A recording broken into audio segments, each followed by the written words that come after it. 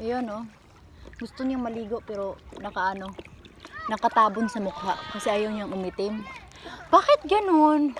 Bakit gusto niyong maligo ng dagat pero ayaw niyang umitim?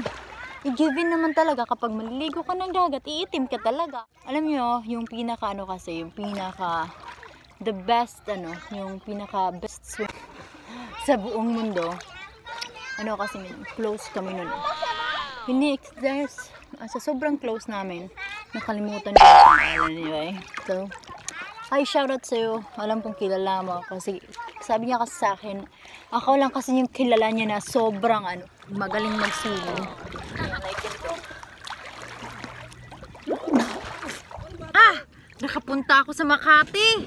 Oh my God! Sobrang galing ko talaga magligo. Swimmer talaga ako guys. Pupunta ako ng Makati para makita natin kung anong sitwasyon din kasi sabi nila malinis daw doon. Kaya let's go.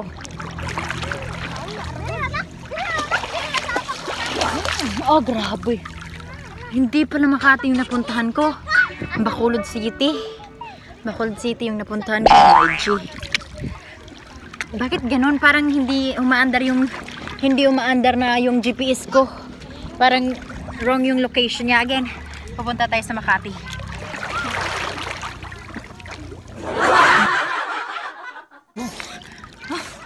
Amerika! Nasa Amerika tayo! Shit! Bakit tayo nandito sa Amerika? Ah! Ayoko na. Gusto ko sa Makati. Gusto ko sa Manila. Gusto ko makita kung anong feeling. O gusto ko makita kung anong itsura ng ABS-CBN. Punta tayo no.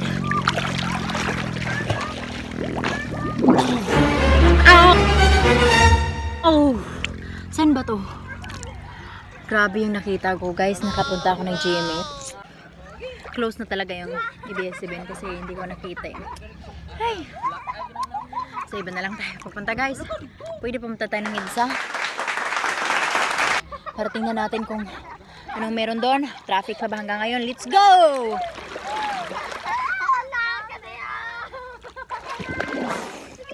Ayun. At last, nakapunta na rin ako ng EDSA. Pero bakit ganun? Kahit lockdown, napaka-traffic pa rin, no? Ay, sino bang nandun? Napaka-traffic pa din ng EDSA. Ayoko nang pumunta ng Manila. Pero okay na rin. See? So, shoutout sa pinaka-close ko dyan ano, swimmer.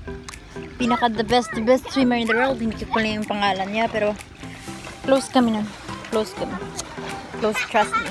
Close, sobrang close namin. Sa sobrang close namin, nakalimutan ko nga kung anong pangalan niya kasi every time magkikita kami, hindi kasi kami nagsabi, anong pangalan mo? Na, ano lang, hi, swimming tayo.